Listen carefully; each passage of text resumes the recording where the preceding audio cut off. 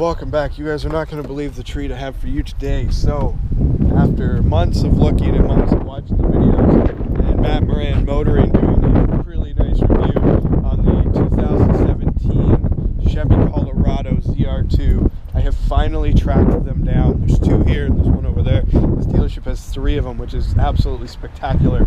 So, I am going to take the red one out for a test tow. Matches my car. I parked them side by side.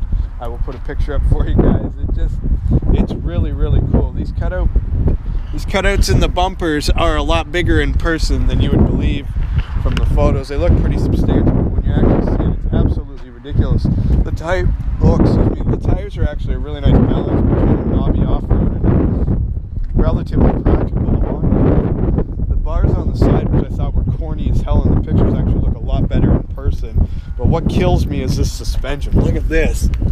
Look at that. It is absolutely every bit as cool in person as you would expect. I mean, as far as pickup trucks go, this is well equipped. It's 50,000 Canadian dollars, which is probably 40 grand American. It's got the soft open bed liner already installed. Like, I mean, it's just done. I would buy this and drive the absolute hell out of it. Backup camera, tow package. I believe these are rated at 6,400 pound tow capacity. I could be off a little bit, but a back seat with all the usual goodies. Let's see if I can get in this thing. Set this thing up. It actually does sit pretty high. Oh my god.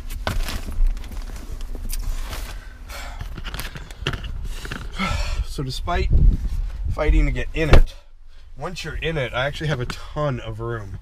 I'm assuming these seats were set for someone a lot taller than me. Visibility's good, like you would anticipate. 12 volt outlet, USB ports, all the usual stuff, owner's manuals, floor mats.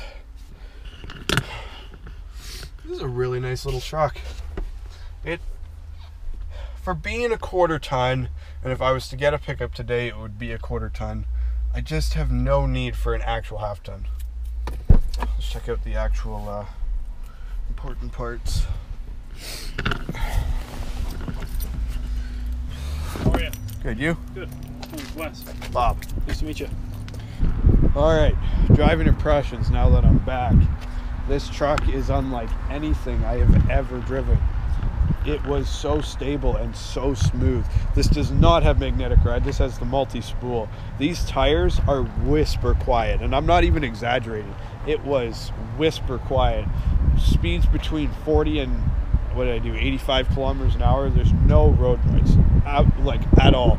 And this does not have the fancy schmancy Denali noise cancellation to make your ride more comfortable. This is just is what it is, and it is great. The exhaust note, and check out these tips. Nice little bow ties. I don't even get that on my Camaro. How lame is that? But there's just so many small details and room and comfortable, and you're sitting nice and high, but it doesn't roll or wander or do anything. This truck is truly, truly the the truck equivalent of my car absolutely awesome. When the channel gets big enough, I am buying one of these brand new. You mark my words, it's coming to the channel. Let me know what you think in the comments below. Until next time, take care, behave, and drive safe.